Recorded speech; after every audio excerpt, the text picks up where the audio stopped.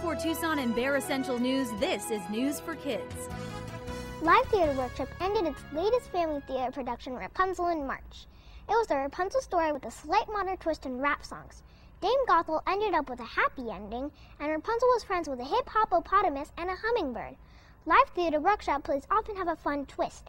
I should know, I've been in them. The mini players perform a play during the fall semester and a musical in the spring.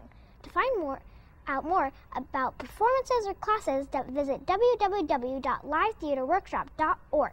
This is Sarah Morrison from Satori Charter School for Bear Essential News.